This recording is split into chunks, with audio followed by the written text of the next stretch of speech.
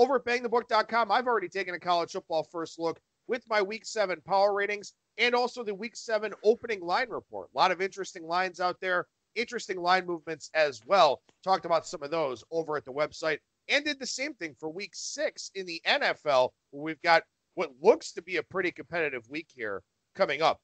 Also, over there, we've got a new tennis preview from Big Ten Wado for the Shanghai Masters. We've got Alan Moody's MLB picks for today's four playoff games. Parker Michaels' daily NHL piece, always a must read. Definitely want to make sure that you're checking that out. And throughout the week, we'll have UFC, soccer, additional baseball coverage as I write some more series previews for the ALCS and the NLCS, a golf preview from James Mazzola, more NFL and college football content. Be a very busy week over at bangthebook.com. Finally, as you know, this and every edition of Bang the Book Radio presented by our friends over at DSI Sportsbook. BTB and the number 200 is that promo code 100% deposit match bonus for the sportsbook, 100% deposit match bonus for the live casino at BetDSI. It's only a game until you bet it. One guest on the program here today, we'll have him for the full hour. That is professional handicapper Kyle Hunter of HunterSportsPicks.com. Kyle, how's it going today, man? I'm doing all right. You know, um, licking my wounds from a bad weekend in college football this past weekend. I'd, I'd had three or four really good weekends in a row in college football. Certainly bound to happen. Uh, better NFL Sunday and hoping for better things ahead in college football. You certainly hate to see a really rough weekend. I will say that, you know, last week when we talked about the card coming up for uh, last week's college football, we talked about the fact that it really wasn't a very exciting week and it turned out to be you know, kind of that way as we expected. I do think that there are a lot more good games, both really in the NFL and college football for the week ahead. Yeah, it certainly seems that way. I mean, you know, you look at the college card and Iowa and Michigan, you know, premier game on paper wound up being kind of a snoozer. Auburn and Florida, there were a bunch of turnovers in that game, so that wasn't a very good game either. Um, you know, we did have some interesting results, certainly some surprising upsets. Stanford over Washington, of course, being the biggest one, but yeah, overall, you know, not a lot of watchability here uh, for the college football slate in week six. And hopefully we get some better stuff here in week seven. But one thing I do want to mention that you just touched on there, you know, as you said, not a great week in college football for you, but something that I think is really challenging in the position that you're in. You know, you may have, and you're a high volume guy, in particular in college basketball, and that'll be a season that starts up here in less than a month. I believe it's what, four weeks from today or four weeks from tomorrow, something like that. But you wind up with a lot of games that you like, and then you have to pick and choose what you want to send out to clients because you can't send out 15 or 18 plays and expect everybody to play everything. So sometimes maybe you just pick wrong. Yeah, that's that's how it went this past weekend. You know, when you go one and six on the games that you actually play, and then your leans go nine and four or whatever mine went. I, I know that uh, you know I I was exactly split down the middle as far as uh, you know, wins and losses from the initial leans, but the ones that I actually played went one and six. It's gone the other way too. Well, you know, let's be honest. It, it's obviously gone the way where, you know, I've had five and one, six and one, seven and one days where the rest of the leans didn't do well. It's hard to take when you have a bad day when you see the rest of the leans do really well, but you know, it's part of the business and you, you move on and, and, uh, you know, as long as I keep getting good closing line value, I, I would think that I will do well in the long run. One quick note here for our listeners. Obviously, we sound a little bit different. Kyle and I decided to record on Skype today. We got some positive feedback about that last week. I'm going to try to do that with more of my guests here. You know, I do that uh, with the odds report segment on Fridays, but I'm going to try to do that with more of my guests here, uh, try and get them acclimated to recording that way.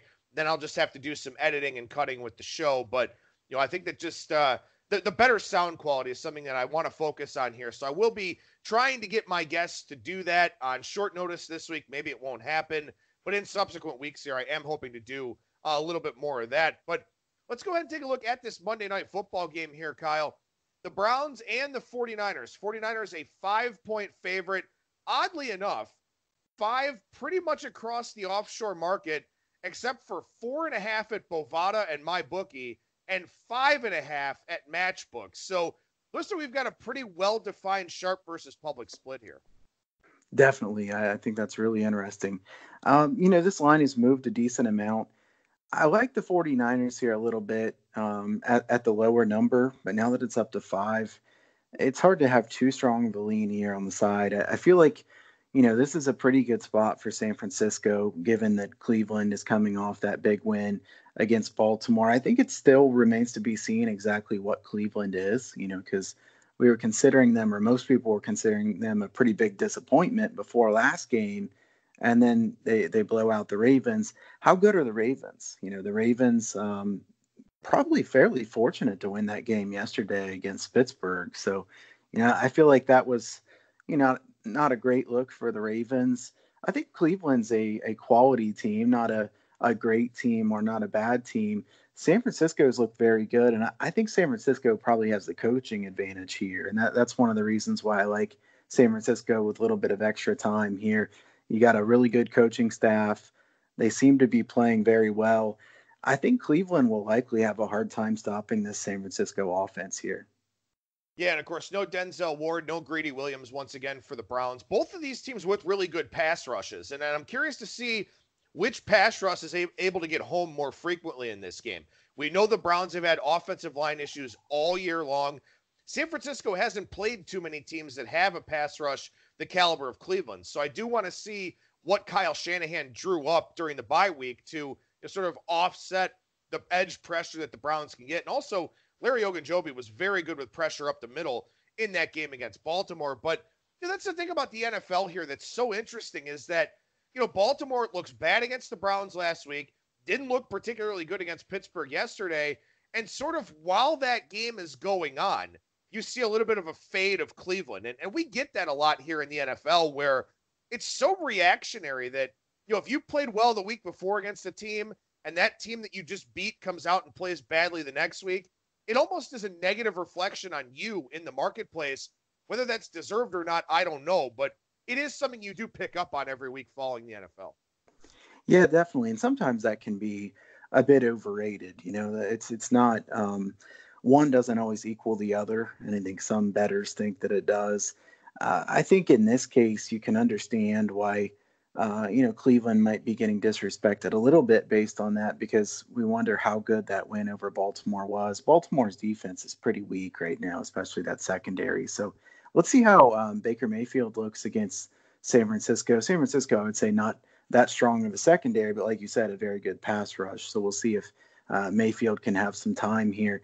To me, you know, another interesting point about this game is Jerome Boger's crew is the one that's uh, calling this game. There's there's a couple things about that that's notable. The home team's done very well in, in games that uh, Boger's crew has been in. Andy Over's done very well. The home team 88 and 73 ATS, the over 97 and 67. Yeah, and we got the over here 47 and a half, up a little bit from 46 and a half midweek. Some places did open 47 and a half though. So I think that's kind of interesting. I would assume this total goes up a little bit as you know the Boger news gets around, as you've got public bettors that are co- going to come in and play the over for this game. Uh, but you know, as far as the current line at five, you know, like you said, liked it at three and a half. I've got it in the Circa Million and the Super Contest at three and a half. At four, maybe you're still looking San Francisco. At five now, it is tough because again, if the expectation here is a higher scoring game, that seems like both what you and I are thinking here. Uh, then you know you got a little bit more variance into the equation. So should be a good one at least after having some duds on Monday Night Football. At least we get a good one here this week, and I think Lions and Packers a pretty good one next week too. Yeah, this definitely should be a better game. Uh, once once you get the Bengals off Monday Night Football and some of the other teams that we've had on uh, previous weeks, you see the Browns and 49ers to be honest, I'm really looking forward to this game. And like you said, next week's game pretty good as well. It's really nice to have a good game on Monday night. It's it's hard when you have a full slate of games on Sunday and then you look forward to the game on Monday night and you see some of the games we've had lately. Real quick before we transition over to the college side, and, and we had a situation like this with Chris Ash and Rutgers, uh, you know, this past weekend, but Washington fires Jay Gruden. Jay Gruden wanted out of that job. And, and quite frankly, with how that organization is run, I can't blame him. Laid the big number with New England in the contests and came away with a win there in that one. But for Washington here going forward with Jay Gruden, a guy who, as I said, if you read between the lines, he didn't want to be there. You know, it was just, I think that he had kind of worn out his welcome. I think the players had, you know, probably kind of tuned him out a little bit. And also, too, some bad luck. I mean, Washington's had injury problems for the last several years, just something that they can't really shake. But as far as the Redskins go going forward, I mean, what do you think about them? They do play Miami here this week, so good chance at a win. But what do you think about them now with Gruden out of the picture? Well, I know a lot of people like to bet the the team who just fired the recent coach, especially if they think that uh, players didn't respect them that much. I do think that this is a difficult situation to know what to do as far as the first week. You've got Washington and Miami, both of these teams kind of thinking, you know, maybe we finally have a chance to win a game. That's not a game that I want to bet. Uh, I, I want to stay as far away from that game as I possibly can. I, I thought that, you know, what, what you said there was uh, true to me that Washington looked like a team where uh, Gruden looked like he was ready to be done. You know, I, I, think that he saw the writing on the wall and said, "Okay, let's let's just get this over with." Um, you know, I, I, think Washington has a little bit more talent than does Miami, uh, and I would say that Washington could have some value as an underdog going forward here in the next few weeks. I hate to bet them as a favorite though, so it's a team that I would avoid here this coming week. It's a game that I would avoid, but you know, let's see if Washington plays hard. You know, maybe they maybe they do play harder for uh, the new coach, and maybe we see a little bit of something different. I, I think that the quarterback situation there in Washington, though, is just such a huge question mark. Yeah, it is. And it's also going to impact the next coach that they wind up hiring because it, it seems like the front office really wants to push Dwayne Haskins. And you can understand why, especially seeing the success that air raid quarterbacks are having here this season. We know he's got a big arm, but you know, does he have the ability to break down defenses, audible at the line, make the right calls, change the right protections, all that kind of thing? That remains to be seen. So that's a tough job because someone's probably going to have to come in and work with that kid. And, you know, maybe that's something that they don't want to do. So it'd be interesting to see what happens there with the fallout. And by the way, as I mentioned, Chris Ash last week getting fired by Rutgers. They're a 14 and a half point home dog. They lose 48 to 7 to a Maryland team that just got completely shellacked the week before by Penn State. So didn't really seem to help Rutgers last week. We'll see if it helps them here as they go forward. But pretty good week of college football here in week seven. Things start Wednesday night in the Fun Belt, Appalachian State and Louisiana Lafayette, a game we will get to here in a few minutes. But we'll start with our quick hitters and talk about some betting nuggets, some stats, some trends, some regression teams. Lots of good insight here to both explain some of the line moves that we're going to see but also give you some starting points here for this week. Yeah, Baylor's really impressed me so far this year. That's where I wanted to start out. 10th in the nation in yards per play margin so far this year.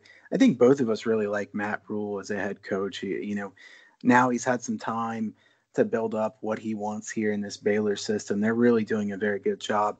I don't know if there's been any update about Charlie Brewer, but certainly that's a situation that you want to watch. Uh, this is a team that's even better than I expected them to be. I like how uh, much improved they are on defense, and they've been able to run the football as well. Though certainly that you know they want to have Brewer available. Yeah, Brewer definitely took some shots, and you know there are a lot of quarterbacks here on the injury report this week. A lot of them, and I talked about them in my opening line report. Sort of being surprised that some lines are up there on the board.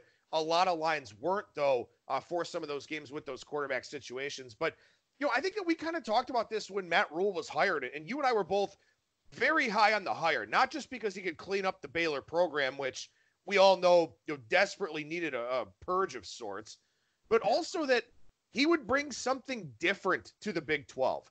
Baylor would be a physical team in the trenches, but now he's also got a quarterback in Brewer that fits. He's been able to recruit the state of Texas relatively well. It's a good mix there where no, they're not an elite team by any means, but they're a very good team in this conference, and they're also a tough team to play because of their physicality. Yeah, definitely. I, like you said, I think the good point there is that they're so much different than a lot of the other teams in the Big 12. I always like coaching staffs who come into a conference that, you know, just about everybody else is doing something uh, about the same way as every other team. And then you come in and do something a little bit differently and do it well. That's what he's been able to do here so far. Speaking um, of that, real quick, this isn't something we're going to talk about, but we mentioned Rutgers earlier. If I'm Rutgers, I'm hiring Ivin Jasper, or I'm seeing if Paul Johnson wants to coach. I'm running the triple, triple option, option. Yeah. because uh, you cannot compete with Ohio State, Penn State, Michigan, Michigan State, Wisconsin, maybe eventually Nebraska if Scott Frost gets it going. Uh, you know, Iowa's good every year. You can't compete. So give them something different to look at and try and get your six wins and go to a bowl game every year. I'm I think Rutgers is the perfect spot to run the triple option, and I I don't think they do it, but I think it would be brilliant. Yeah, definitely. I mean, what what do they have to lose? I mean, they've just been losing games all the time, so you might as well try something different, right? So, um, yeah, I definitely agree with you on that. I don't think they'll do it, but I, would like to see them do it. Um, I, the, the next one I had on my list here was Stanford. You know, Stanford off that surprising win against Washington, and I certainly didn't see that one coming. Um, I didn't have anything in that game, but I didn't expect that to happen. Stanford's 115th in the nation in yards per play margin at minus 1.21 yards per play. But here they come off that big upset win against Washington. The Pac 12 is really hard to figure out, other than obviously they're just not very good. Uh, at this point, you don't know who you should really trust in the Pac 12. No, I, I, have no idea. I mean, Stanford rolled up 482 yards on Washington in that game over the weekend. And here's the thing, right? Obviously, we know that Stanford is is all over the map, and, and they've had the quarterback injury with KJ Costello. Davis Mills played pretty well in that game there on Saturday. What does this game say about Washington? Washington has now lost to a Stanford team that really struggled to beat Oregon State last week, and obviously has had some of the other bad performances of this season. And they also lost at home to Cal, and Cal is a, an elite defense, but a very poor offense. Blowout BYU, blowout Hawaii, blowout Eastern Washington. I, I have no idea what Washington is at this point in time. And again, from a talent standpoint, I mean, they're a top 15 team in my power ratings, but I do not, they're a top 17 team, but I don't trust them at all. No, I don't either. And I, I, will say, I think some people may get a little bit too too low on Chris Petersen based on this. I still think he's a really good coach. Um, Washington lost a lot from last year. They lost a lot of defense, especially. Uh, you know, they still have the offense. Eason uh, seems like he should have been a little bit better fit than what he's been so far this year. So, been a little bit disappointed on that side of the ball. And the inconsistency of Washington on the road has really been uh, pretty striking here the last couple seasons. But you know, I like like I said, I don't I don't really trust anybody in the Pac-12 all that much. New Mexico State minus 14 in turnover margin so far this year. They're off a misleading final there against Liberty. And the first thing I, I said to myself as I saw that uh, final score and looked at the box score was, you know, of course Liberty would get the cover the week after uh, I had them, and I know you had them as well um, against New Mexico. Then they go in a difficult spot against New Mexico State and win a misleading final there the next week. Yeah, and, and it's going to be a real interesting game for New Mexico State here this week. They play Central Michigan on Saturday on the road, which is a really weird place for them to go. I know they're an independent, so they pick their own schedule and they take whoever is willing to play them, but that's a real strange spot, really both ways, because Central Michigan just blew out Eastern Michigan in a rivalry game. Now they host New Mexico State, laying a pretty healthy number at that. So that's a really strange game all the way around there coming up on Saturday. Central Michigan, a double digit favorite in that one. Yeah, Central Michigan, a double digit favorite. If you look at the long term forecast, which obviously a lot of things could change, low 40s with quite a bit of wind in that game. So um, definitely something that you would you would kind of think that would help Central Michigan, especially with New Mexico State on the long travel. But like you said, Central Michigan off a really big win against a an opponent that they would have been a lot more fired up to play against uh, versus New Mexico State. So uh, interesting handicap there to be sure. Um, next on my list, I've got SMU is now plus 20 and sack margin on the year, plus 20. Really amazing. What a comeback from them last week. And it's hard to say whether that was really a, uh, you know, a choke job by Tulsa or a really good job there by SMU. But that was uh, the most exciting game of the weekend. Yeah, how about SMU, man? Moving to 6 and 0 and again, uh, obviously very tough. Hell of a catch by James Proche oh, too. And, yeah. and that's the thing, too, is that you know, this SMU team, they've got some Power Five transfers. Xavier Jones could be an NFL running back. I think Proche could be an NFL wide receiver. I don't think Buechele's an NFL quarterback, but you know, guy originally recruited to Texas. This team has got a ton of talent. I don't know if the defense holds up throughout conference play, but this offense is legit. Absolutely. Very, very good offense here for SMU. Like you said, some great skill position players. I would think uh, SMU will keep putting up some pretty big numbers. Uh, the totals are going to get higher and higher based on how high scoring their games have been. I do wonder about their defense, and they were fortunate to win there the other night against Tulsa. Uh, Tulsa had that kick to try to win it. Uh, certainly questionable whether there should have been a uh, running into the kicker or roughing the kicker or something where Tulsa would have had a second chance, but they didn't get it. SMU ends up winning. Uh, interesting game there, certainly. The last uh, couple quick hitters, I'll say, couple bad, bad offenses. Miami of Ohio on offense, just 39 plays of 10 yards or more so far this year. Oklahoma has 120 in the same number of games. Now, certainly I'm not expecting Miami of Ohio to be Oklahoma on offense, but that's certainly pretty striking. The other one, Northwestern. Northwestern has nine plays of 20 yards or more so far this year. Uh, that one really, to me, stands out as just ridiculous. Western Michigan has 43. Uh, the Wildcats defense scrappy, but this offense is awful. Hunter Johnson, probably the biggest disappointment in the country so far this year to me. Yeah, I think so too. I mean, again, that Northwestern defense keeps them in a lot of games. I mean, it's it's kind of a, a vintage Pat Fitzgerald type of team with a good defense and no quarterback play to speak of. But yeah, Miami of Ohio plays Western Michigan here this week, and that's an interesting line, up from 11 to 13 and a half now. Western Michigan, first game they beat Monmouth 48 to 13. Second game they lose to Michigan State 51 to 17.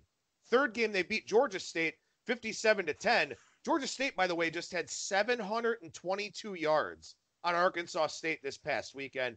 Get blown out by Syracuse, beat Central Michigan by 16 in a game that was much closer than the final score would suggest, lose to Toledo last week. To see Western Michigan getting bet up with how inconsistent they've been here is a commentary on that Miami of Ohio offense. So, again, it's important to look for these stats because you can get out in front of some line moves here if you're paying attention to what some of these statistics look like.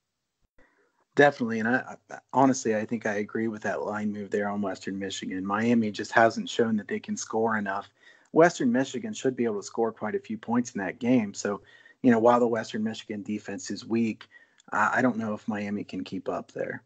Well, and once again, we talk about trying to get out in front of line moves, and you can do that with power ratings. You can do that with box score study, but you can also do that looking for these areas of regression. And I love when we talk about these on the show.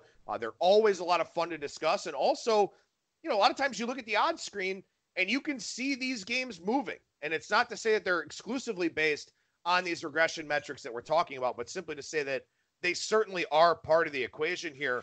And we start with the Duke Blue Devils.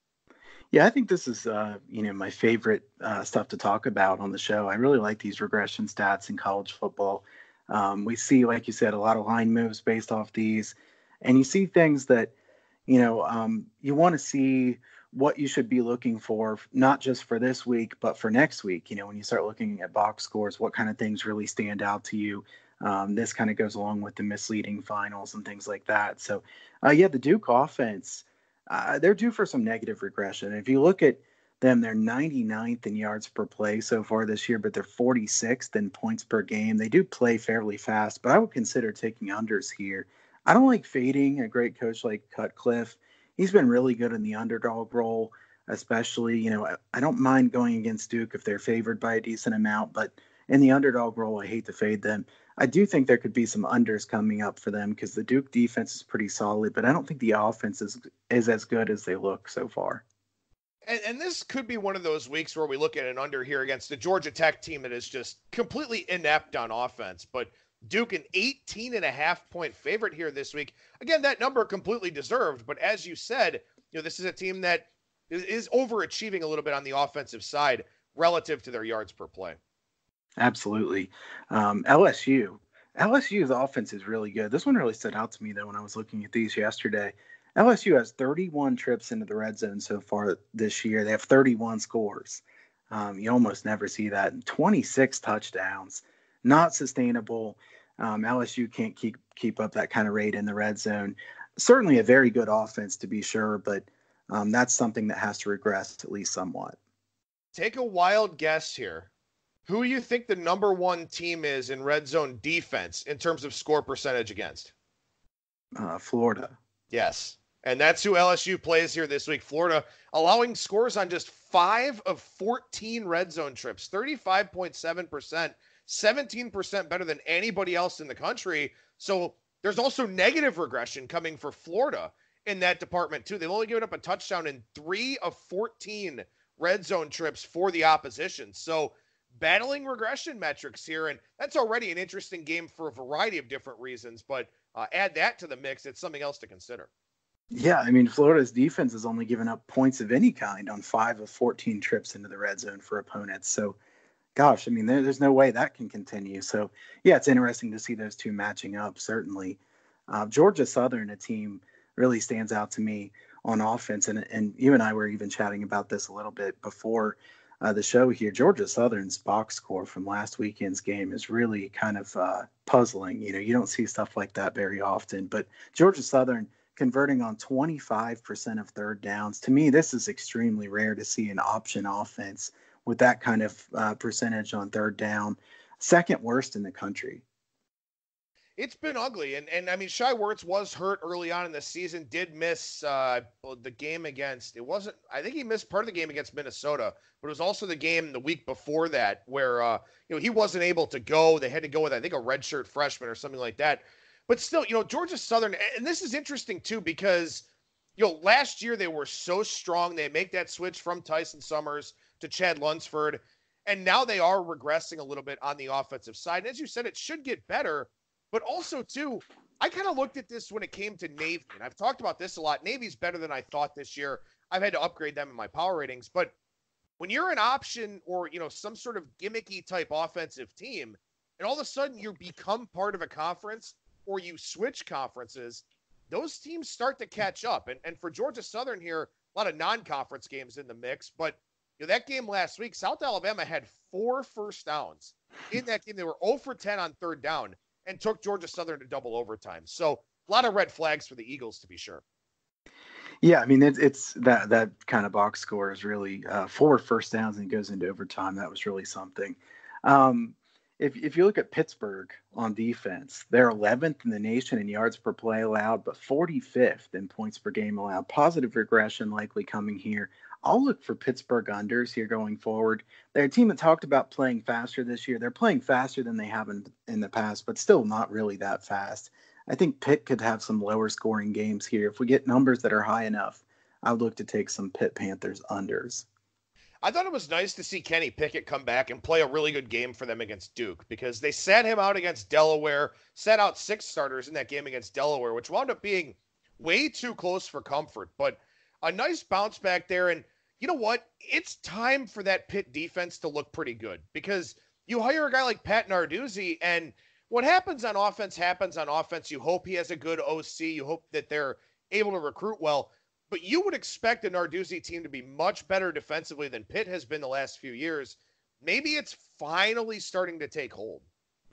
Yeah, and I'll be honest, I'm kind of surprised that, you know, based on the injury to um, isn't I think it's Weaver that was going to be their best player on the defensive line before the season. I kind of expected this defense wasn't going to be great, and then now they've been very, very good on defense so far this year. So I'm a little bit surprised that this is the year that it happened. You know, I thought in past years they were going to be a lot better, and then kind of thought that this year that they wouldn't be that good on defense. But now they seem to be turning a corner. Maybe it's just been long enough, and uh, he's got the players he wants, and they understand the scheme better. But certainly, Pitt on defense has been very impressive so far this year.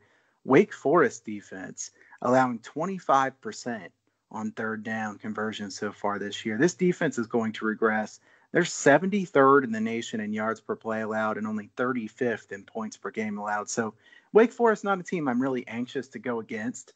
I really like their coaching staff in general, but I think Wake Forest could be a team that we see some overs with going forward because this defense isn't as good as they've looked so far.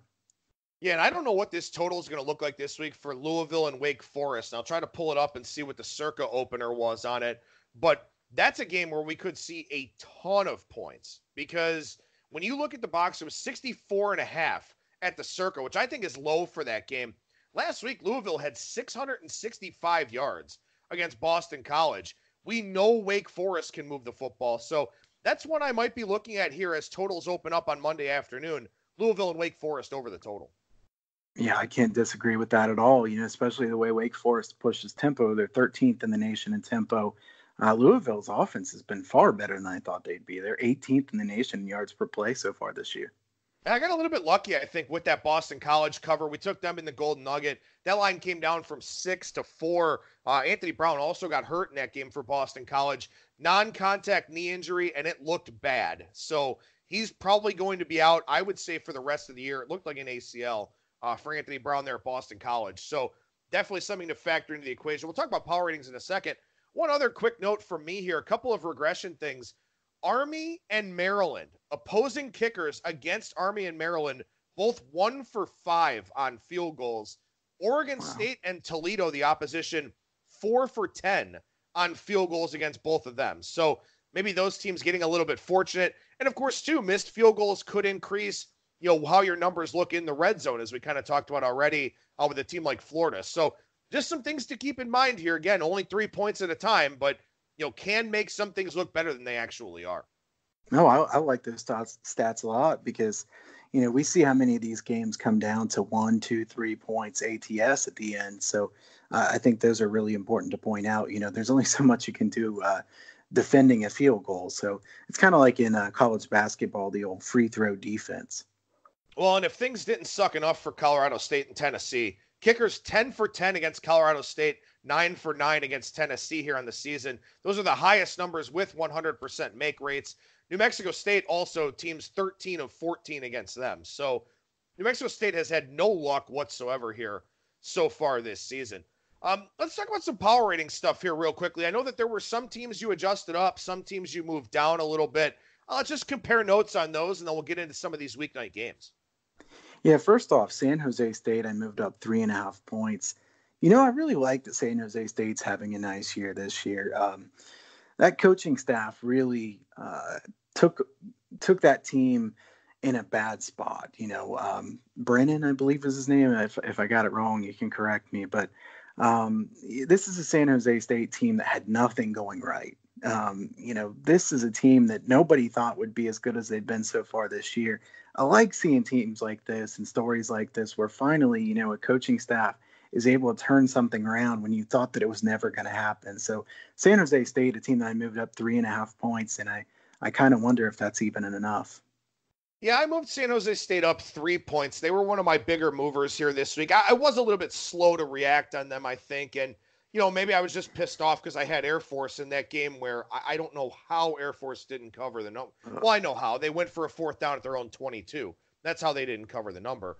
Um, but yeah, San Jose State definitely looks better, and there's a lot of talent out there in California. If they're able to get some of the decent talent that's out there, couple three stars here and there, some high two stars, that'll play in the Mountain West. So, you know, hopefully Brennan and his coaching staff can keep doing some pretty good things there.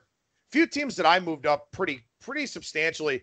I bumped Central Michigan up six points. I was on them in the Nugget last week. I thought they could win the game outright. They dominated the game, and Jim McElwain is doing great things there in Mount Pleasant. So Central Michigan got a big upgrade from me. Also, Oregon State, Tulsa, and then Ball State all moved up four points for me. But I got to say, overall, I don't know if there's a single MAC team that I didn't move this week. I clearly did not know how to rate that conference coming into the year. It's been very inconsistent overall, but the MAC is just I, all these teams just seem interchangeable week in and week out to me. So I guess I just didn't have most of them rated well. Yeah, I moved up Central Michigan four and a half points, and I have to tell you that this is one of the games that last week I, am most upset that I didn't take. I had an overlay there with Central Michigan. I didn't trust my lean there enough, and and then of course they they look great and absolutely blow out their rivals. So disappointed in that one. I moved them up four and a half points. Tulsa up three and a half points. As far as some of the movers down, uh, I moved down Vanderbilt four points. I had Vanderbilt and Ole Miss over. That was a game where I got over 58 last week. I believe it closed 64, 64 and a half. So, you know, um, this is one of those games where you see six, six and a half point line move in your favor. Uh, certainly is encouraging. And then, of course, Vanderbilt can't do anything at all. You know, Ole Miss could have scored a lot more if they really needed to in that game. Vanderbilt's a lot worse than I thought they were going to be. Northern Illinois moved down three and a half points. Kansas State I moved down three points. So those are some of the disappointing teams to me. I would say that Kansas State, uh, pretty poor performance there last week. Uh, a team that it's hard to know what to make in, in the first year of Chris Klieman. I think he's certainly a very good coach, but uh, I think that was a pretty poor showing there against Baylor. It was a really poor showing, especially when you consider Kansas State was off of a bye and Baylor was off of a really big home win where you know they had to hold on in the fourth quarter there against Iowa State. For Klieman and his team to look like that coming off of a bye, especially when you consider what happened in that Oklahoma State game where they gave up like 975 rushing yards or something like that.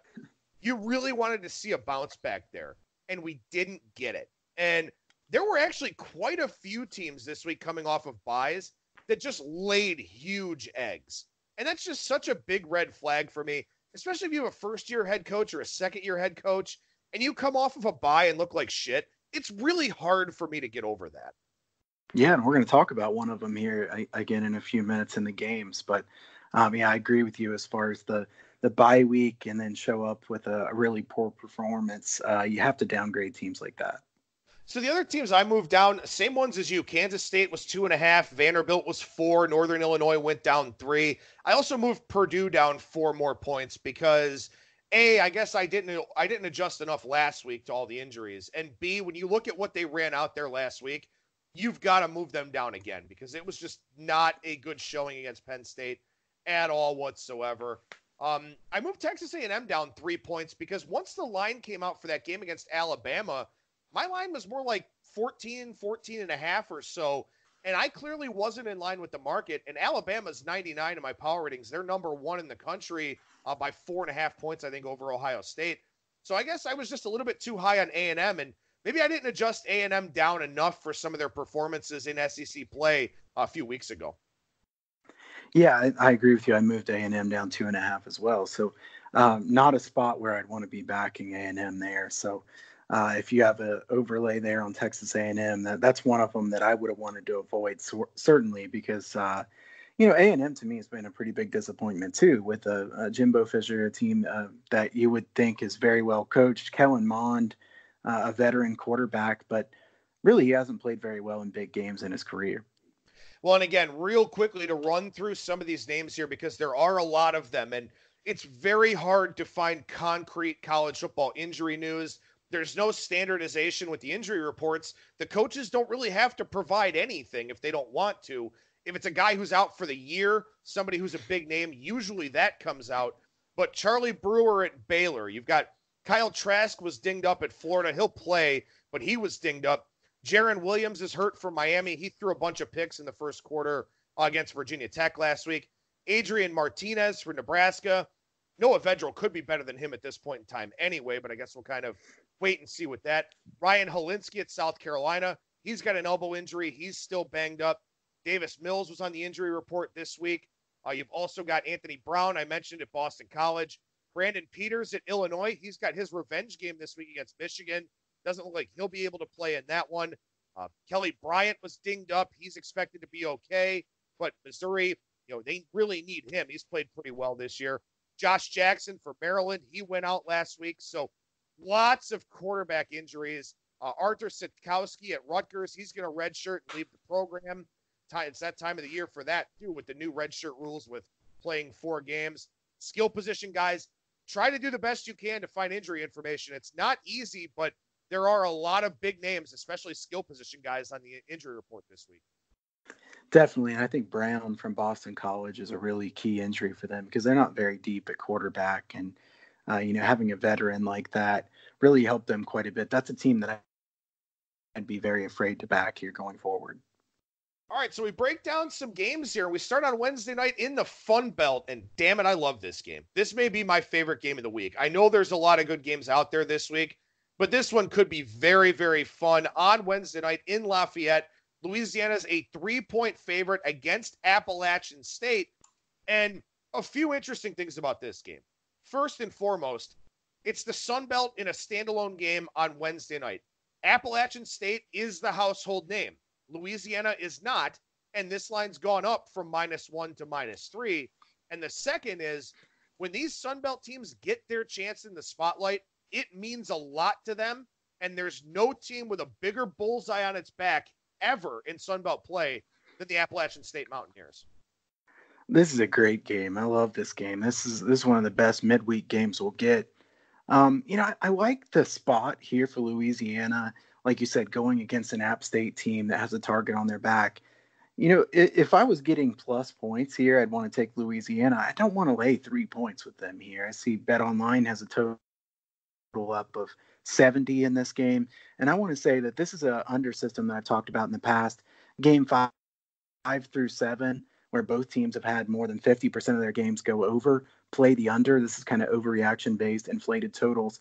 In games five through seven, this system is 220 and 161, 57.7%, when the total is 55 and a half or higher, which is pretty much an average total.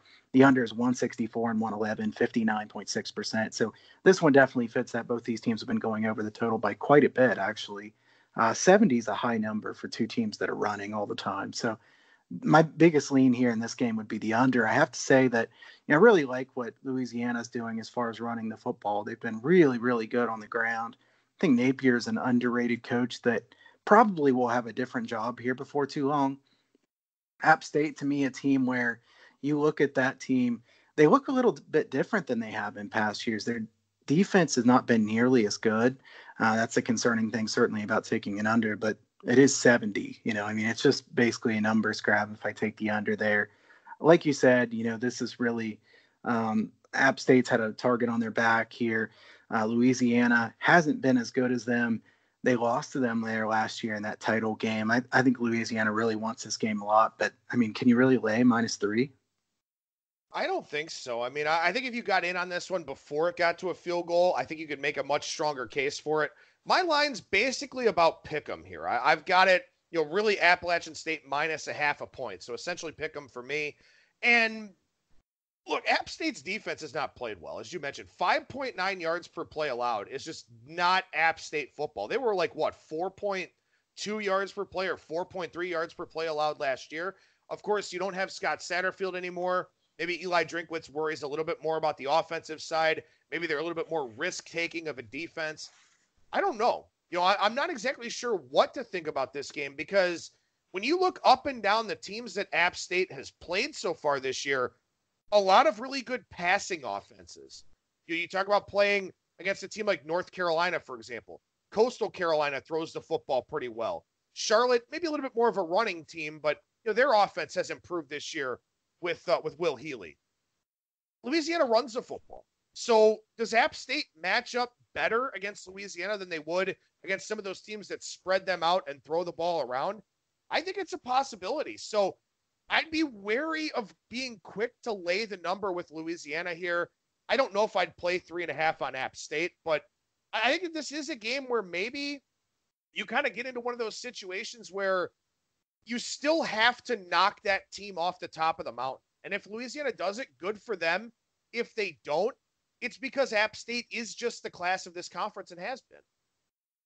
Yeah, I mean, I, I agree with that, and I think that you know this is a spot where, like I said, I I would have wanted to back Louisiana, but you know the line the line's gotten out of control, and I I think Louisiana at five and zero oh ATS. I'm not sure if there's any other teams left that are unbeaten. I, I know App State's done pretty well ATS so far this year, but you know when you get a team that's five and zero oh ATS on the year, it's hard to continue to see value on them. You know everybody sees that they're that good, and you know it, it then gets the price out of control a little bit. I will say something I thought was interesting here. I was pulling it up as you were talking. These teams played twice last year. The total of 65 in the first game, 54 in the second game, and uh, they finished at 44 and 49. So, I mean, I would expect this game to be higher scoring than those, but you know, let's see how this how high this total is throughout the course of the week. Appalachian State has given up 4.3 yards per carry on the season, but they have the they're tied for the 10th fewest rushing attempts against at 152. Now they have only played four games, so obviously this is going to go up. Most of the teams around them have played five, but still, it's simply to say that they haven't faced a whole lot of running offenses yet. Again, maybe that does help them here defensively because they're usually one of the best teams in the Sun Belt in the trenches. So, you know, quite possibly that could help them. And in fact, as we're talking here, this line, the odds screen lighting up, number coming down to Appalachian State plus two and a half. So somebody out there does like them, is getting a little bit of a buyback point here uh, with plus three at most places in the market. Staying in the Sun Belt, going to Thursday night here, game 105 106, Louisiana Monroe on the road at Texas State. Two and a half or three point favorite out there. And I don't think you and I were originally going to talk about this game. No offense to these two teams, but as we both looked at it a little bit more, there's kind of a clearly defined side we both like. Yeah, I mean it's it's hard not to like Monroe in this game. The way to beat Texas State is by running the football. Uh, Texas State has a good secondary, weak in the front seven. Monroe does very well running the football. They're 17th in the nation in yards per carry so far this year. Texas State 107th at stopping the run so far this season. Lots of tempo in this game. Um, I would certainly lean to the over as well at over 62 or so. You've got a Monroe team that you know has played a decent schedule here. Um, did well there against Memphis, moving the football. Um, you know, obviously their defense wasn't too great in that one, but it was Memphis. Uh, Texas State is in the better spot as far as a bye week, and I will point out that um, something I was mentioning to you there before the show. Uh, you notice that teams off a of bye week starts mattering more this time of the year. A team with a winning percentage of 50% or higher with 11 days or more between games who is up against a team with eight days or less is 53.2% ATS from week six on. So um, if they're an underdog or are favored by nine points or less, it goes to 55.5% ATS. Now, Texas State's not a good team, so this is not a great example of that, but it's just something to keep in mind that you know teams who are pretty good teams coming off a bye week this time of the year um, can be pretty good to back. I think the Texas State's offense with uh, Bob Stitt there is going to improve over the course of the season. Uh, they've had some real turnover problems, but I do think that Texas State's defense, uh, so weak against the run, makes me want to bet Monroe here. And I think that this the fact that Monroe is coming off a big game uh, against a high highly ranked opponent is probably the reason that the number is only minus two and a half here. But it's hard to look any other way than than uh, laying the the short number here with Monroe. Yeah, I think Monroe's just a better team all the way around, and and I understand that you know it is a little bit of a tricky spot. They should have covered against Memphis. I went ahead and took Monroe in that game. I figured Memphis wouldn't be overly engaged. Memphis has a 68 yard touchdown run. The next play is a pick six. It turns a close game into a blowout. And then Monroe, I think, was just kind of deflated at that point. The balloon kind of popped, and that was that. They wound up failing to cover that number. Um, but again, I just I, I don't think Texas State is is really ready for this type of game yet against a Monroe team that was improved last year and has been improved this year. I think Matt Viator is doing a really good job there with that team. Again, extra prep time for Texas State, but uh, I already took minus two on the bet online opener. I don't think I'll double down at two and a half, but I, I do like Monroe a little bit there uh, in that game on Thursday night. The earlier of the two games, but the one that's further down the board by rotation number, game 107 108, Syracuse and NC State. Interesting to see this line go from minus three with some dog juice up to three and a half here. So NC State looks to be the preferred side early in the week. This is a really tough game for me. You know, you, you take a Syracuse team that really I thought was going to be better than what they are. Um, and you know, if we go back and look at that Syracuse loss to Maryland now, you kind of think, what happened in that game? Uh, you know, that, that was really just a strange one. Syracuse, a team that you know offensively, I'm pretty surprised they they haven't been better than they've been. You know, this is a, a coaching staff that you think is a very good offensive coaching staff. Uh, normally, when you see these two teams in total, what you know Circa put out and what Bet Online has right now, I would be thinking I want to take the over. But you know the efficiencies of both of these offenses have not been very good. Um, Syracuse, the advantage they have here in this one is they're third in special teams according to S&P. Uh, NC State is 46th. I, I, have nothing here as far as a, a line value. I have this one at four. I will say that even though my, my power ratings have uh, NC State minus four, I think if I had to play this game, I would probably take Syracuse plus the points. And we'll see if it gets to four or four and a half here. But um, you know, I like Babers. I think that that team will improve. And I don't know what I'm going to get out of NC State. You know, the, their quarterback position has been a weakness here. Um, to me, this is a game with enough unknown that I would rather take the points. I've got this one NC State minus six and a half. And, and maybe I just have too much respect for Dave Doeren and, and what he's been able to do. Uh, for NC State, you know, I, I was probably a little bit too high on them coming into the season. They lost Ryan Finley. They lost a thousand yard rusher. They lost like 2,000 yard receivers. So a lot of offensive losses for NC State. Then Matthew McKay came out and played pretty well in the first two games. And I thought, oh, okay, you know, I won't make too many adjustments to them. Now it's not even McKay's job anymore, as it looks like Bailey Hockman, a Florida State transfer, seems to be the guy who's going to be in that starting role now as we go forward. I did wind up taking the majority of the reps last week on the game against Florida State. For Syracuse, I think I may be a little bit too low on them because Tommy DeVito did not play well at the outset of the season. He's played much better here of late, seems to have gotten a little bit more comfortable in the offense here for Babers. Like Eric Dungey, he's been banged up all year long. Dungey was always hurt.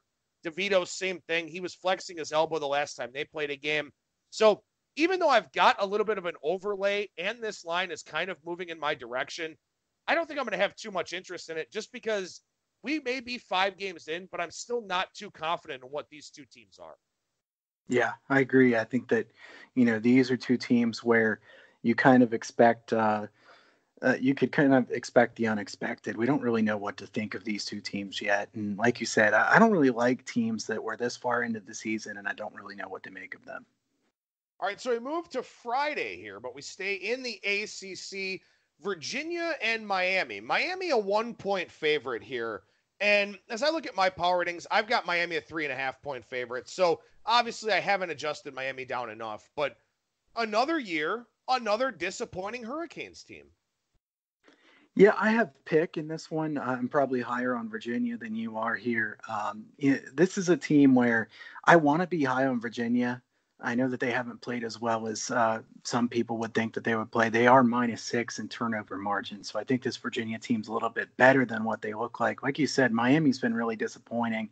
And they're a team that this is the team I said that we talk about later, coming off a bye week um, and really off a win against Central Michigan where they won, what, 12 to 7 or something really low scoring, close game. You'd think they'd be really, really up for that game against Virginia Tech. I know Virginia Tech um, had that bad loss the week before, but I feel like it's not a great coaching job if you can't be up for a game like that after you just had a disappointing performance the week before. So definitely some worrying signs there for Miami for me.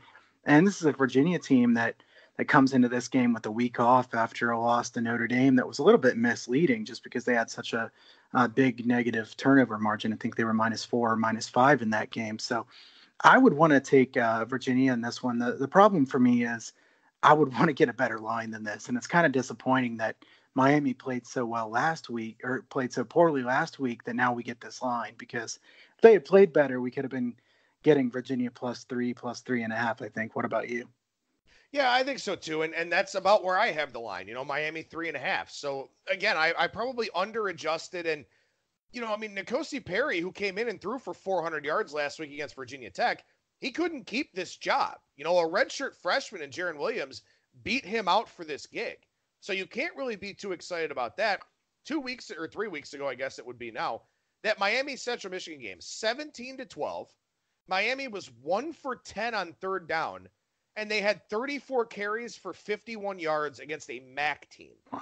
And that was a Central Michigan team that, you know, coming into the season, nobody really thought anything of. I think I've moved them up 10 points or something like that or so from where I had them coming into the season. So that's a really bad look for Miami. And I, think Virginia, I think what's hard about teams like Virginia is they just, they're not flashy. You know, Bryce Perkins can be a flashy player, a dual threat type of guy. But for being a top 25 team, you know, really a consensus top 20 team, you know, for a lot of people in the power ratings coming into the year, they just haven't they haven't done anything to hurt it, but they haven't done anything to help it.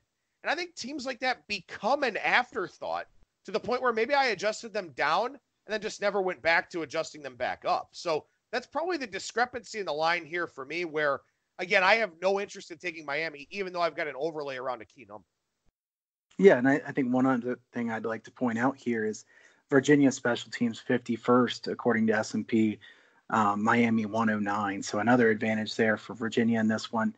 Like I said, I want to bet Virginia. I can't bet them only at uh, one point. So we'll see what happens with this line. But I would kind of expect that most people would want to take Virginia. So I, I don't think this one's going to move in Miami's favor. And let's be honest here, too. If you're a team like Miami, right, and you're recruiting three and four star guys, you get the occasional five star, I'm sure, but most of your roster is going to be high two, three or you know low end four star types of guys, and you're bad on special teams, that's embarrassing because those underclassmen who come in as three and four star recruits, they're playing special teams unless you're redshirting them.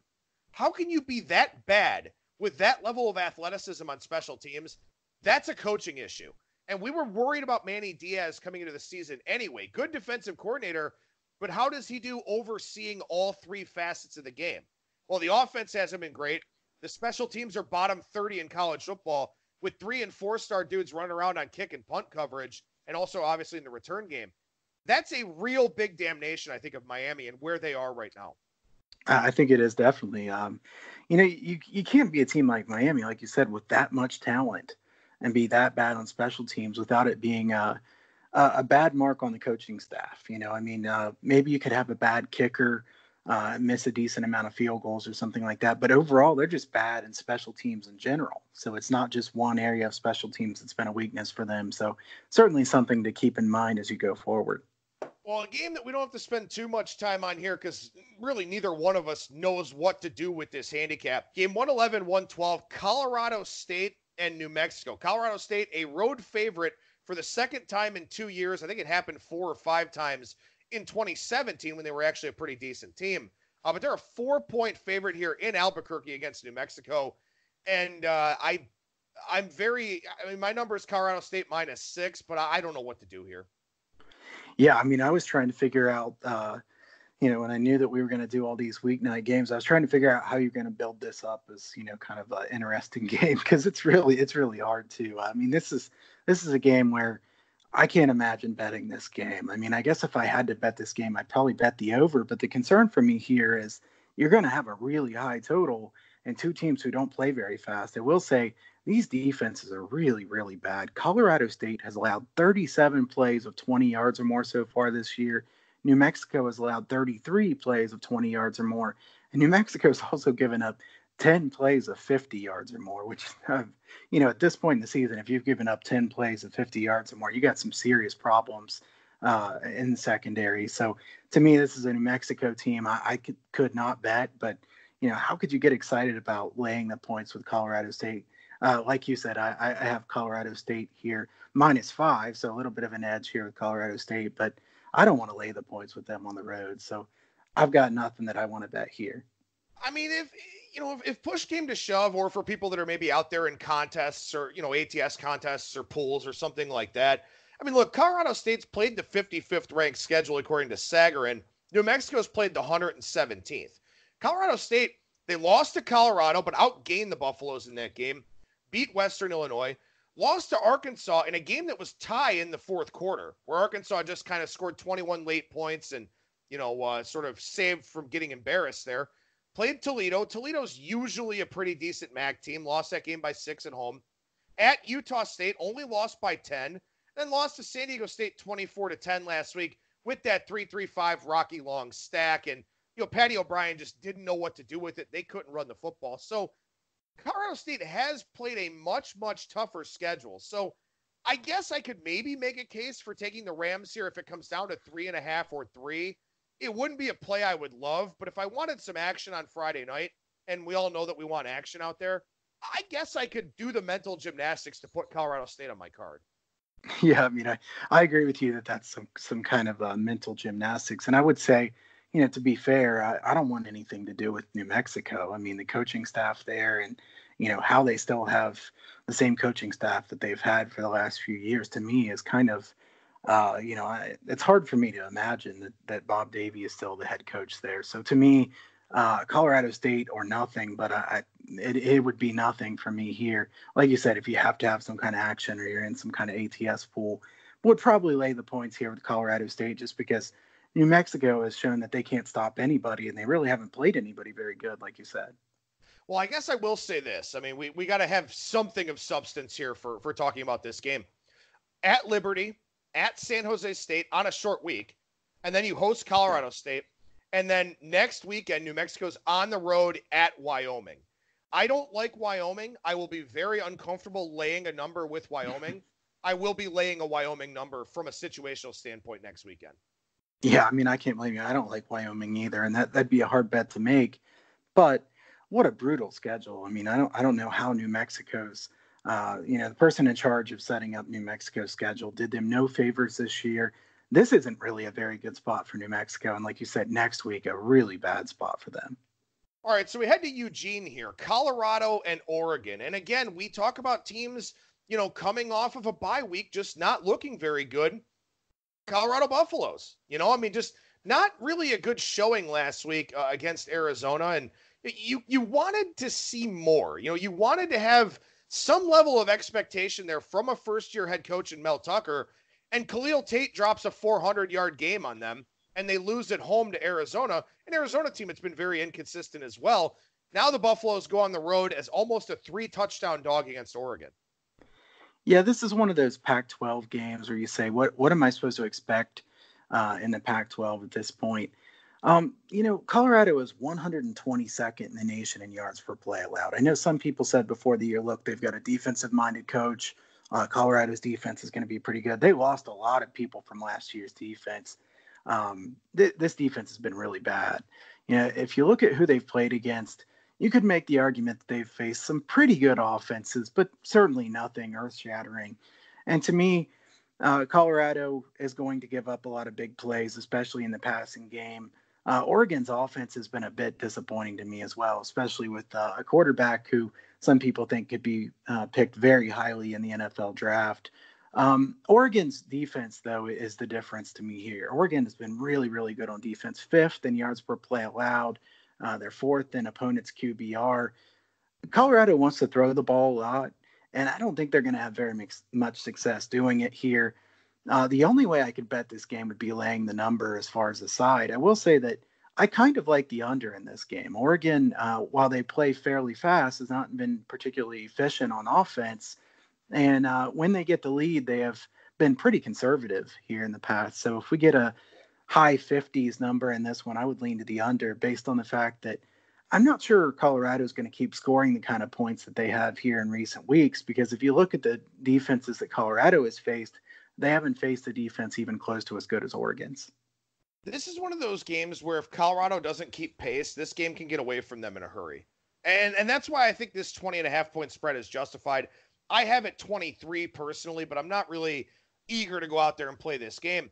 However, I can say the Oregon defensive point is a really good one, especially with Andy Avalos, who was the defensive coordinator at Boise State previously, appears to be a home run hire for them. And again, to give you a little bit of substance, because I don't think either one of us is really jazzed about playing this game in particular. The Pac-12 is a shit show. It's it's a mess. it just is. Next week, Oregon's at Washington, and for some reason, I won't be the least bit surprised if Washington beats Oregon in that game after losing to Cal and Stanford. But maybe that Oregon defense is the difference maker there, taking a top five unit up to Seattle. So that's what I'm kind of interested in here too. You know, we don't have many look ahead spots going into into week eight. I kind of looked at this here this morning real quickly. That is one where if Oregon is up big in the second half of this game, they can put it in cruise control. So if you like Oregon to do what they want to do, and they certainly could, I think a first half play is probably what you want to be looking at. Yeah, I think that makes a lot of sense as well. Um, and really, if you look at Oregon's schedule, they've got a really interesting schedule the next few weeks. They play at Washington, then Washington State at home, and then at USC. So, uh, tough schedule here coming up. Oregon, I guess if you you know if you really wanted to stretch it and say you know the Pac-12 has some chance of getting in the playoffs, which I mean it's not going to happen, but you know Oregon would be the last hope that they have. So you know, if you look at Oregon, I, think they're a team that has potential high upside, but they haven't been consistent enough on offense. And, you know, some of their wins that they've had so far this season, you wonder really how good those wins are. Even the blowout in Nevada, you know, Nevada has looked really bad since then. So, you know, that wasn't as impressive as it seemed at the time. Um, I do kind of like the under in this game, and I kind of like the under uh, going forward next week at Washington. You know, Washington's a team that doesn't play particularly fast. I think that could be a, a relatively low scoring, close game. But I think the bigger story about this game is I, I, don't think Colorado is as good as some people think here this season. So, uh, like you, my number's higher on this one.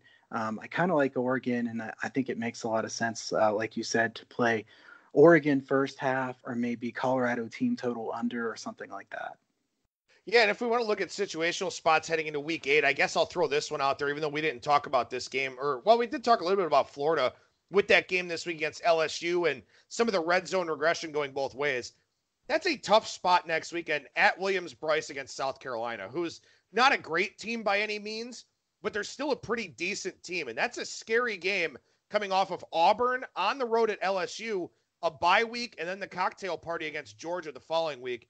I think that's a spot to maybe take South Carolina, especially if they're getting points next week uh, in that week eight game. So, just some things for you to consider as we start thinking about our week eight college football first look segment next week. I guess one last thing I'll ask you about here. I'm sure you're still trying to digest the card and put together your totals numbers and everything.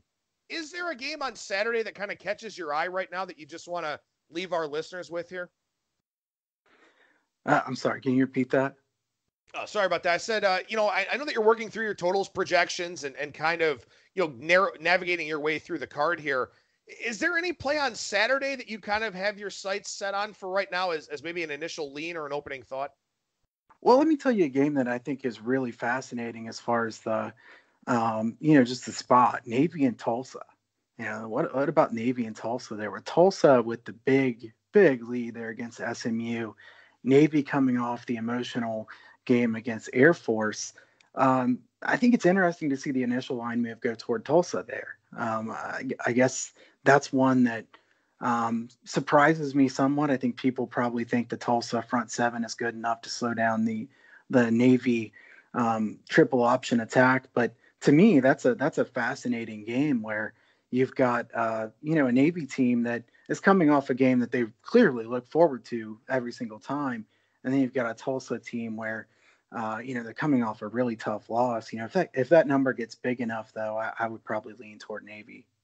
That is a really, really interesting game. Good call there with that one. Last year, 37 29, Tulsa got beat, but the yards 404 to 370. Although Navy's option did have 6.2 yards per carry in that game. So you wonder, you know, will Tulsa be able to make some adjustments here? Uh, good call on that spot, too. That's a, a really interesting one, to say the least.